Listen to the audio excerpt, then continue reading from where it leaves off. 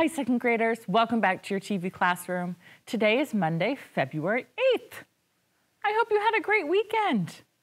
My family this weekend, we just hung out at home and played and spent time together as a family, and it was wonderful. And I hope you had a great weekend as well.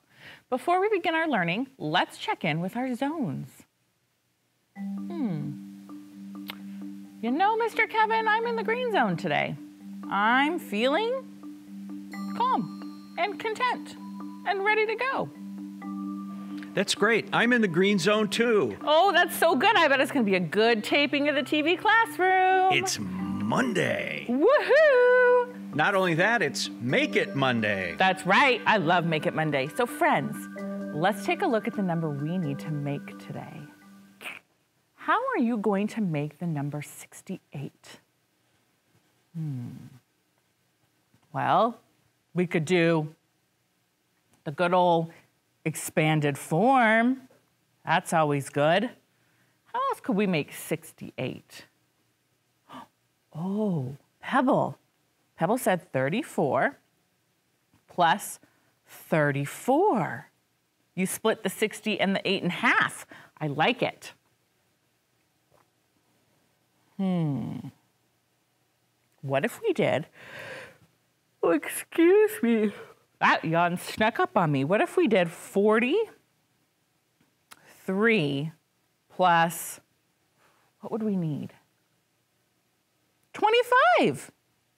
That would make 68. Mr. Kevin, can you think of a way to make 68? I like the idea of multiplication. Ooh. So half of 68 would be 34, right? You, yep. you already, yeah, times two. I bet that means 34 times 2 means 34 plus 34. Mm-hmm. Or oh. 17 times 4. Oh, that's really interesting. What about this one, Mr. Kevin? 70 minus 2. Oh, yeah. That's a good one. That's a Mr. good one. Mr. Kevin loves subtraction. Okay, let's see what we're going to learn today. Today we're learning to use skip counting as a mental math strategy. So far we've been talking about how can you show it, how can you see it, and now we're going to talk about numbers and their patterns and how they help us solve problems mentally. So the first task you're going to have today is to count by fives, and write them in order all the way to 45. Go ahead, I'm gonna give you 30 seconds. Go.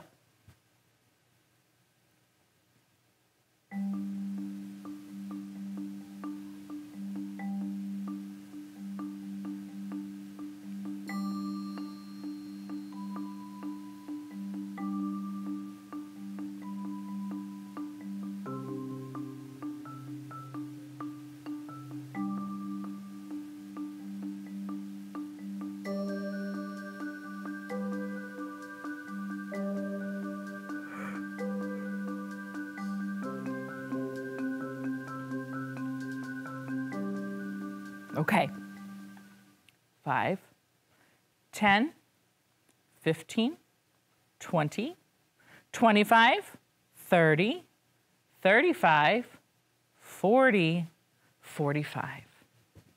Now keep that in your brain because we're going to use that as we're working today. Amy is counting the pencils at the school. Mr. Kevin, I did not pay attention to my punctuation. I stopped at the end of the line and there was no period or comma there. And that didn't make any sense. Amy is counting the pencils at the school. Store by fives. Friends. I don't know. Look at it. It says, here's the way I read it Amy is counting the pencils at the school store by fives. Yes, that's much better. So my brain stopped at the end. And sometimes I see friends doing that when they're reading. Did you know that you use your reading skills you learn when you're doing math?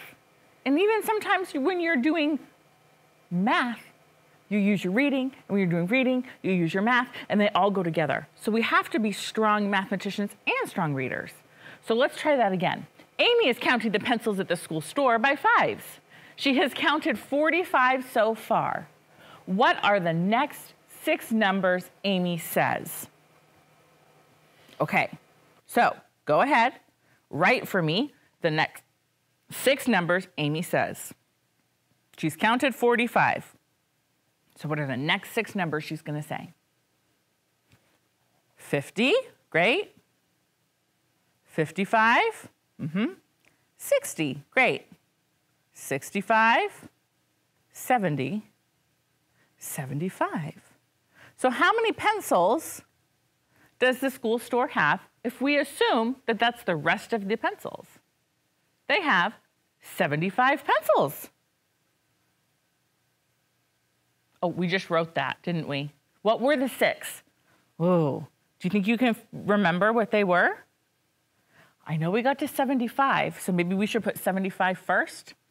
75, 70, 65, 60, 55, 50. There we are. Ta-da! Great job counting by fives. Now, it says you can skip count by other numbers too. You can skip count forward and you can skip count backward. The pattern shows skip counting forward by tens. The tens digit changes each time. Write the missing numbers. So let's look at this number pattern 130, 140, 150. Let's look. 130, 140, 150. What digit am I going to put in the tens place next? A 6, because three, four, five, six. Then it's going to be what? 170 and 180. Great. This pattern, mm, I'm not going to tell you, you might read it, but try not to read it. Just look at the numbers below and let's see if we can figure it out and then read it and see if we're correct. What's the pattern of these numbers? We've got 700, 600, 500. What do you think is going to come next? Why do you think 400? Oh, each time the hundreds place value is going down by one, one group of 100, or the digits moving down one digit, seven, six, five, four, 300, and what's the last one? 200. Let's read. This pattern shows skip counting backwards by hundreds. The hundreds digit changes each time. Write the missing numbers. We got it. Awesome job. So what would be the next number in the skip counting backwards by hundreds pattern above? Ooh. Hmm. What would be the next number? Well, we would have 100. What's the next number? Seven, six, five, four, three, two, one.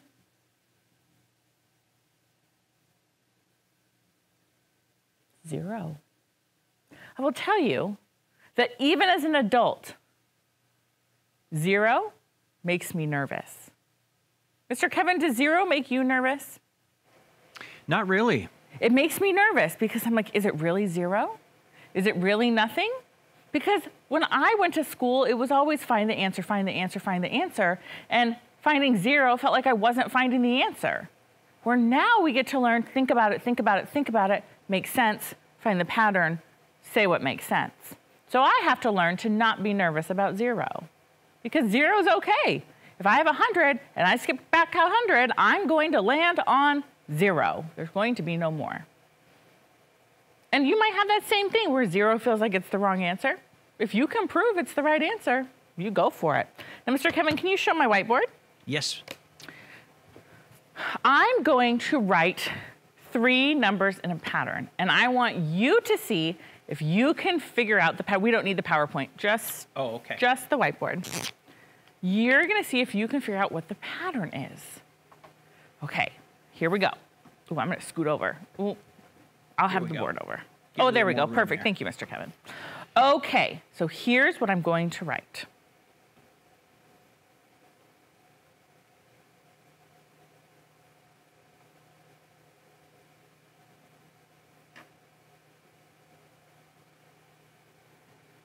Can you figure out what the pattern is? Take a look.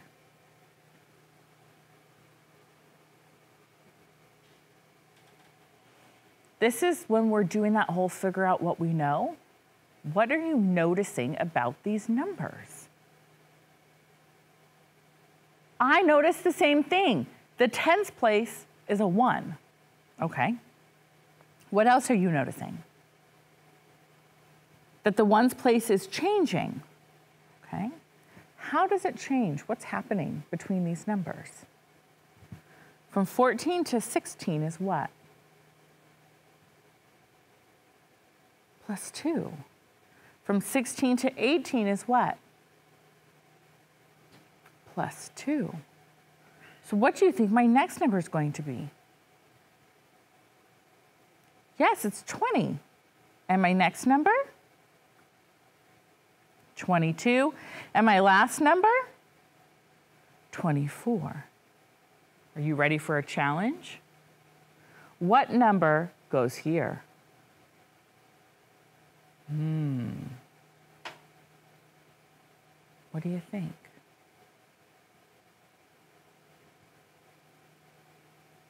Did you say 12? If you did, you were correct because I'm adding two each time going forward. So if I'm adding two going forward, then I'm subtracting two going backward. Fantastic. Okay, I'm gonna erase that. Now, hmm, I'm thinking of a new pattern.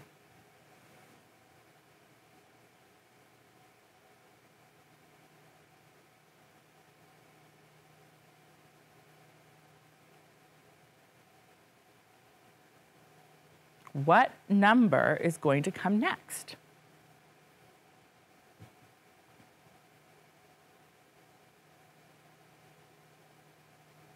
Okay, what are you noticing? What's changing? The tens place is changing. It's going up by one ten each time. So I'm adding 10 each time. So what's my next number? Yeah, my place value, my tens place has to go up one digit. So 134, 144, 154, 164. A lot of times students think when the pattern's counting by 10, we're always gonna be on 10, 20, 30, 40, 50, 60. But you can have a counting by 10 pattern starting with any number.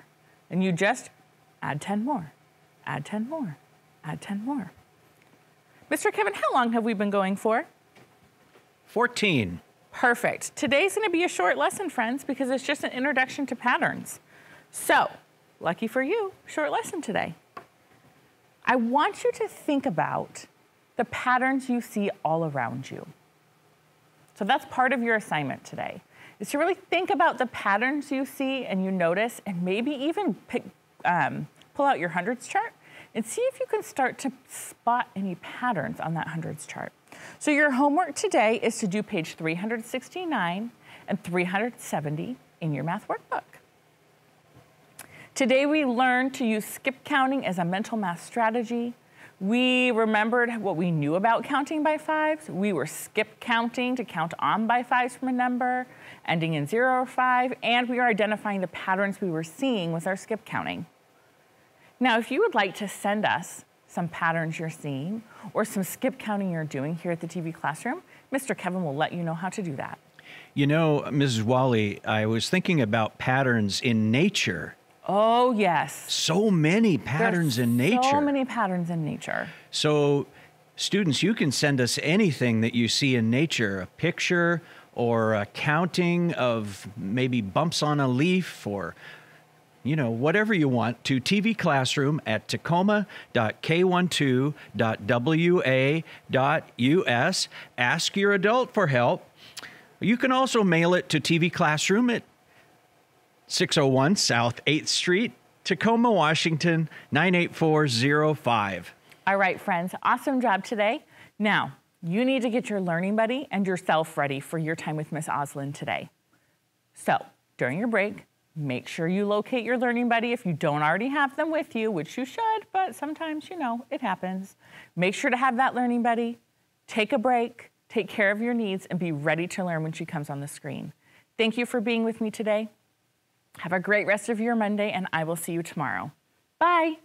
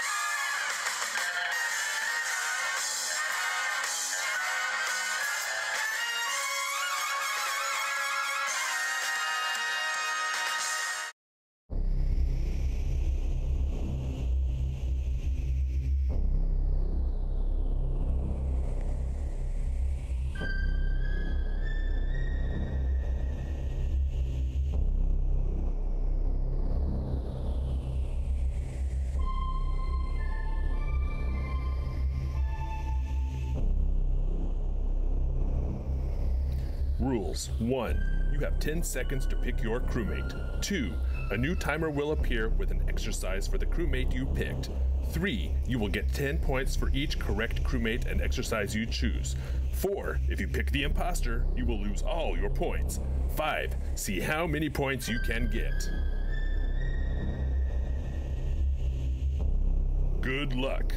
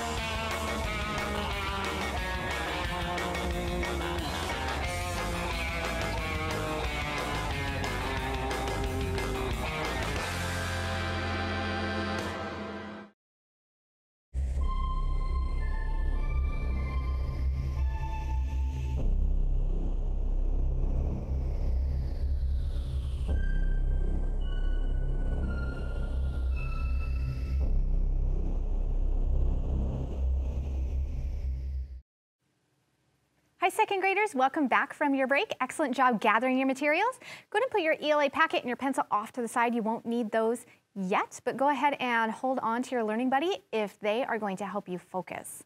Now, let's review what we've been learning about. We've been learning about different types of fiction. And we learned that fiction stories are stories that are made up from our author's imagination. And there's even within the genre of fiction, there are different types of fiction. We have been reading traditional re literature, which are stories that are passed down from one group to another, and they include folk tales, fairy tales, tall tales, legends, fables, and myths. What do you know about these types of stories? Do you remember? Let me show you one more graphic. We talked about traditional literature, stories from around the world, passed down from generation, and often told orally, which means out loud. And then we also have realistic fiction and fantasy fiction. Take some think time to try to remind yourself.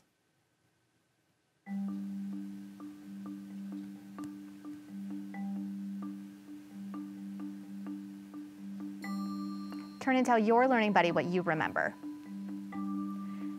Okay, Gus, I remember that traditional literature is often, like the graphic organizer says, or the chart says, stories from around the world, they're passed down and they're often told orally, and there's often more than one version of similar stories. Realistic fiction are made up from our author's imagination, but they can seem real, can seem like problems or people that I would have or know. And fantasy fiction, I know, is something that's totally made up, could never really happen, like characters who are animals that are talking, or um, fanciful stories, or things that are just really wild and out there. We also learned that fiction is, has a structure to it. There's a sequence of the events. There's the beginning, the middle, and the end. And we learned about the beginning, the middle, and the end of one of our traditional tales, Little Red Riding Hood. And we read a newfangled prairie tale, and it was a little bit different than the more traditional version that most of us have read.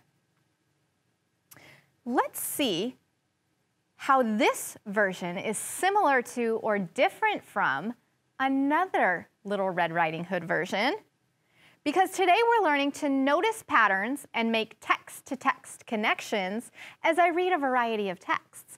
What that means is we're noticing what is the same, what is happening over and over in our books that are similar, and we're thinking about one text and connecting it to another, thinking at how they are similar or how they are different. And we're going to do that today as we read what really happened to Little Red Riding Hood, The Wolf's Story by Toby Forward and illustrated by Izhar Cohen. So look at this front cover. This is another twist on the traditional folk tale of the Little Red Riding Hood.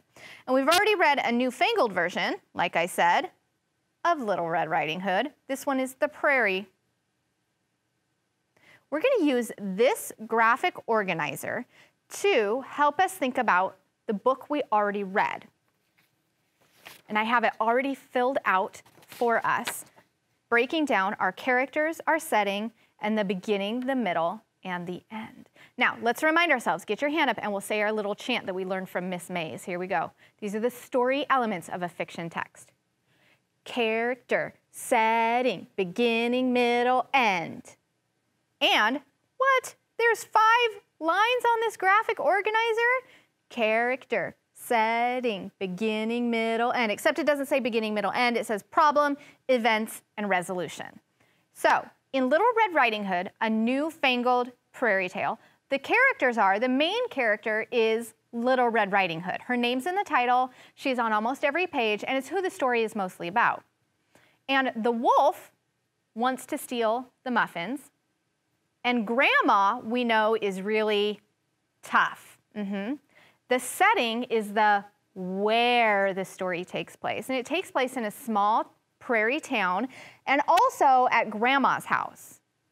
The problem of the story is that the wolf wants to eat all the muffins. And then what happens is, you'll remember, Red is riding out to grandma's house. The wolf distracts her. That's very similar to other versions. Uh, and then the wolf goes out, beats her to grandma's house, and grandma teaches the wolf to behave. Do you remember she comes flying off the tractor? Mm-hmm. And then the resolution, how they solve the problem, is that grandma teaches the wolf to bake muffins and they work together at the bakery that they open, but grandma is always the one who adds the last ingredient. Now we're gonna read our new version today, the wolf story, and we're gonna think about how it's similar to, and that's what we'll put in the middle where it says both, or how it's different from Little Red Riding Hood. And we're gonna add the story elements on our graphic organizer. Okay, now the first thing I noticed when I looked at the front cover of this version is that the wolf is winking. Why do you think that the wolf is winking? Take some think time. Hmm.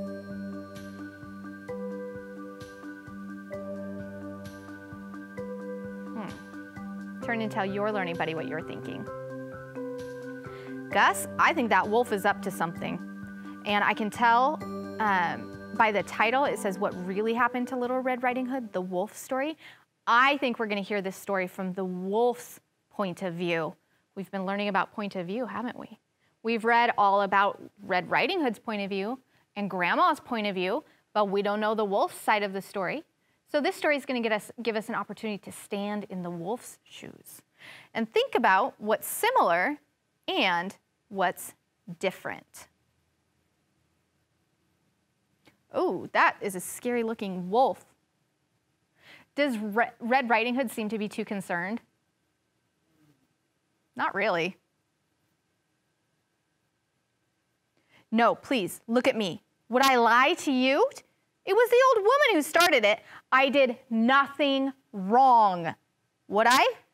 We hit it off from the beginning. Not everyone likes a wolf, do they? Look at you. You're not certain. Would you like to come and sit a little closer while I tell you about the kid? I don't bite. No? Sure? Okay, it's up to you. Anyway, I did odd jobs for the old woman, called her grandma. We were close. I put up shelves, did the shopping, tidied the garden. I even altered her clothes, sewed on buttons, that sort of thing. I'm versatile. It means I can do a lot of different things. I'm versatile. Sort of a new wolf, vegetarian cuisine especially. If I eat any more lettuce, I'll turn green. But that's too much information. Are you sure you wouldn't like to sit just a little closer?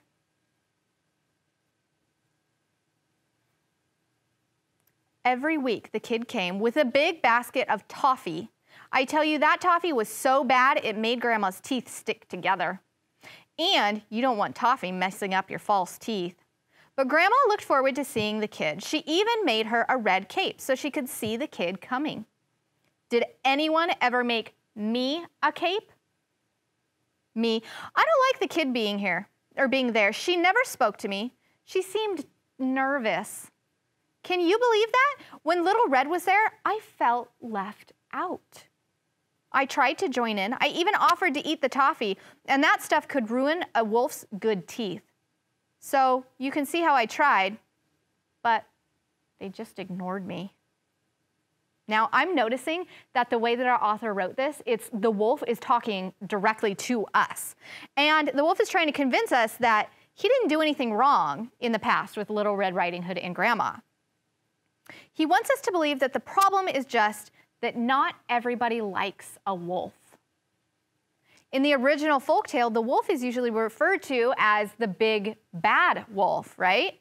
And in the prairie tale, he is up to no good, very hungry wolf. So far in this version of the story, the main character, the wolf, is trying to change our impression of him, but he still looks rather scary. What do you think? Take some think time while I add the characters and the title to our new graphic organizer.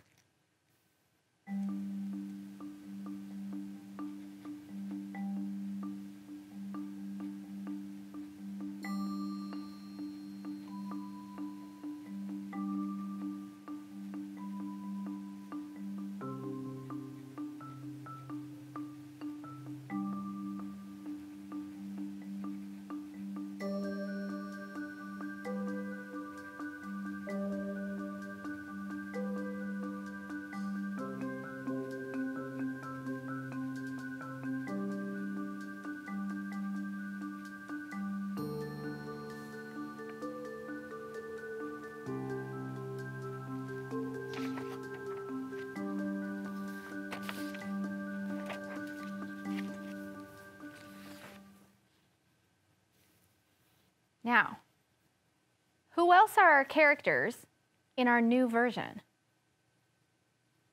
Little Red Riding Hood, but did they call her that? What is the wolf calling her? The kid.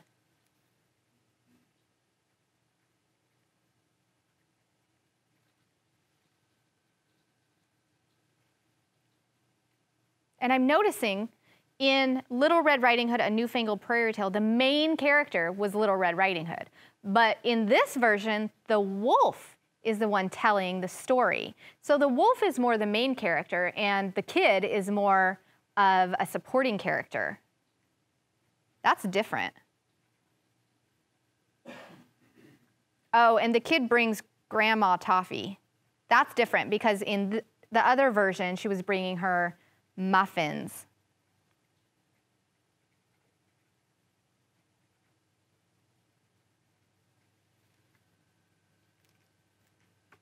What's the same when we're thinking about our characters? They all have the same characters, right? They all have Little Red Riding Hood, they all have Grandma, they all have the wolf.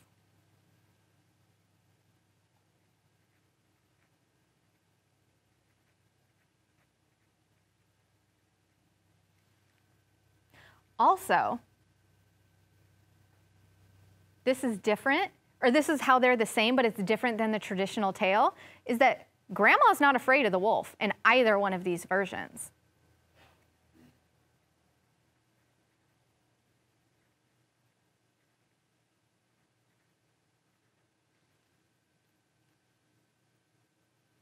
Okay, let's keep reading, thinking about the setting, the problem, the events, and how they solve the problem.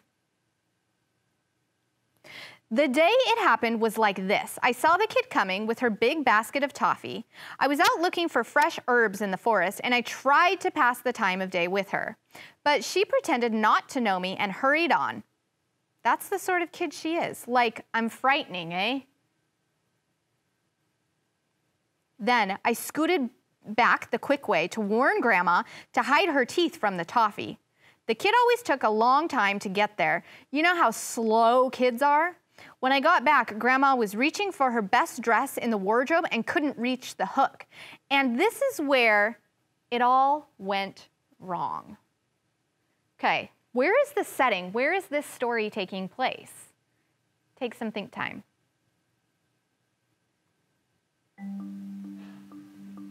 Mm-hmm.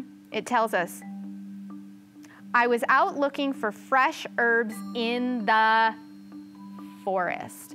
And it also takes place at grandma's house.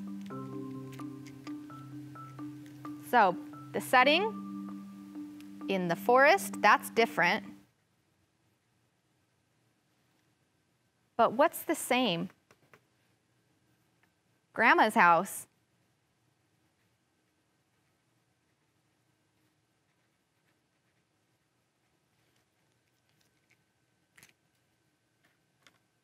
Now, so far,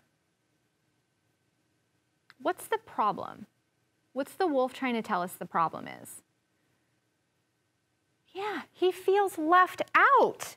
That's different. Little Red Riding Hood, the prairie tale, the wolf wanted to eat the muffins. The wolf wasn't feeling left out.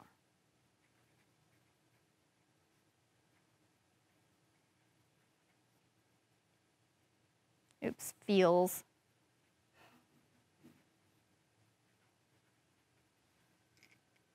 Now, what's the same?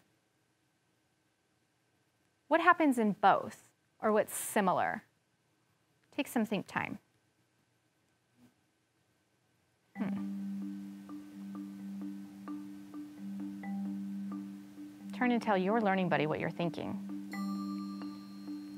Gus, in both of these versions, it's the wolf that's having a problem. The wolf wants to eat the muffins, and the wolf feels left out. Mm. I know. How come nobody ever feels badly for the wolf? Because no one thinks of the story from the wolf's perspective. Mm-hmm.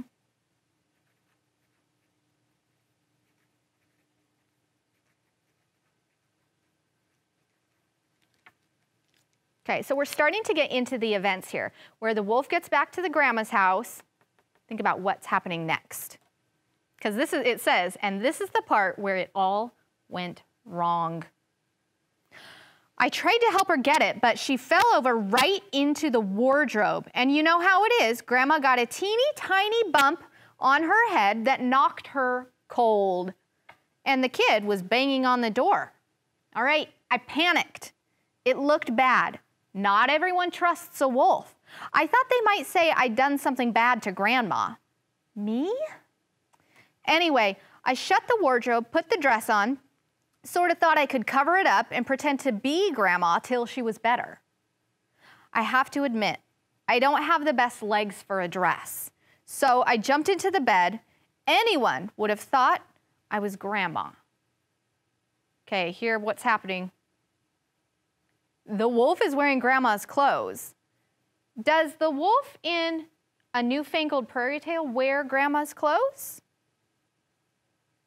Hmm. Now I remember, I remember what was different about that version is that grandma was wearing overalls. Did the wolf ever wear overalls? Mm-mm. Nope. We need to add that because that's part of our events is that grandma bumps her head,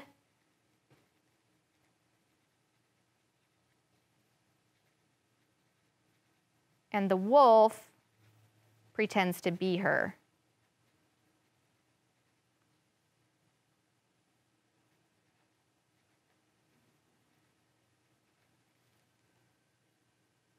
Oh, okay. In both versions, I'm noticing the wolf distracts her, Little Red Riding Hood in a newfangled prairie tale. And in the wolf's version, the wolf also races ahead to get to grandma's house before the kid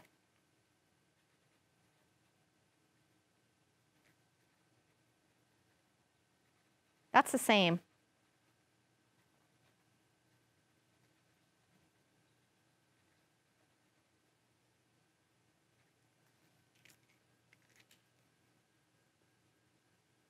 Ooh, it's kind of a scary picture.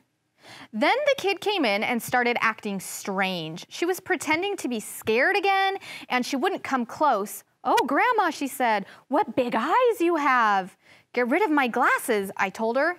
I've got these new contacts. They really smart. When you first put them in, they make anyone's eyes look big. It was the first time we'd had a talk, and she wasn't that bad, really. Looked good enough to eat, if you know what I mean. Oh, Grandma, she said, what big ears you have. Now, these are good ears, but I have to admit, they aren't a lot like Grandma's, and of course, they're pretty furry. Oh, these old things, I said, and changed the subject. Oh, Grandma, she said, what big teeth you have. And this was what made it worse. She was about to pop one of her sticky toffees into my mouth, and I couldn't stand that. So I leaped out of bed, and it may have looked as though I was going to eat her or something. Then she started screaming, Woof, woof, you've eaten my grandma! Do I look like the sort of wolf who goes around eating grandmas? It got worse. The door swung open. There was a woodsman the size of a tree with an axe. I shouted for help, but Grandma was still out cold in the wardrobe. That's like the dresser or the closet. Grandma was still out cold in the wardrobe. She would tell you the truth. She really would. The woodsman took a swing at me, and I was this close to being a fur coat. I jumped out of that window with the sound of the axe crashing down behind me. I ran all the way to town, and I have to tell you, a wolf in a dress is an embarrassed wolf. People were laughing, and that's not nice. Anyway, thanks for listening. And if you ever want any odd jobs done around your house, just get in touch. Here's my card. I'm cheap, I'm a neat worker, completely trustworthy, and I won't make a meal of it. No, please, look at me. Would I lie to you?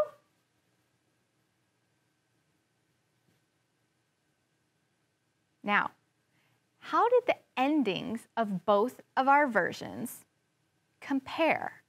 Now, in the traditional version of the folk tale, the wolf gets a beating or even doesn't survive. Now, I'm thinking about how things worked out very differently for the wolf in the end of both of our versions. In the wolf's version, the woodsman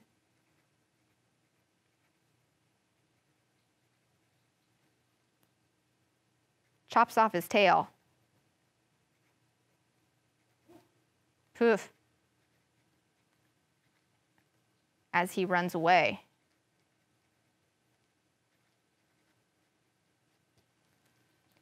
In the prairie version, grandma teaches the wolf to bake muffins, but she always adds the last ingredient. So in both versions, the wolf survives.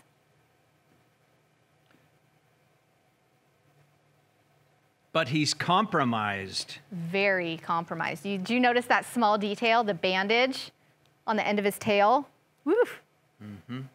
Okay, when we read, we make connections, whether you notice that you're doing it or not, to other texts that you read. You're thinking about what is similar and what is different when you're thinking about your five story elements of character, setting, beginning, middle, end.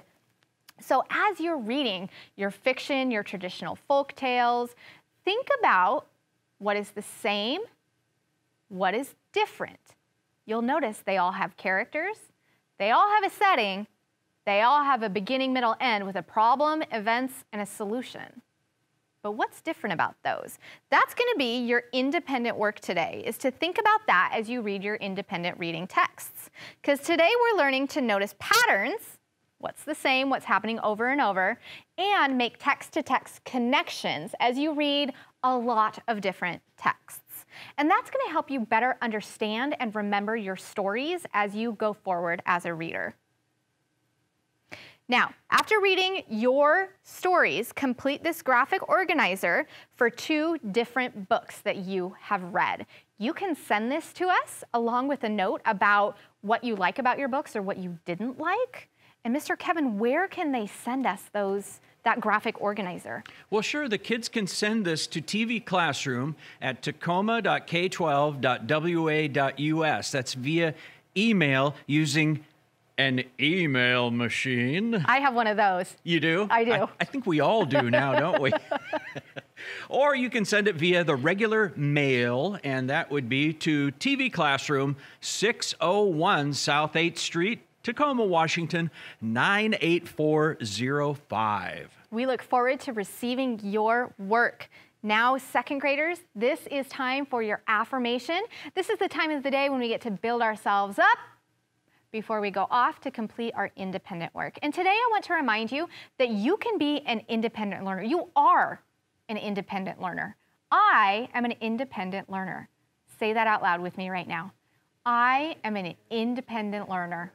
Excellent job today, second graders. I hope you have a fantastic rest of your day, and I look forward to seeing you back here tomorrow in our TV classroom. Bye.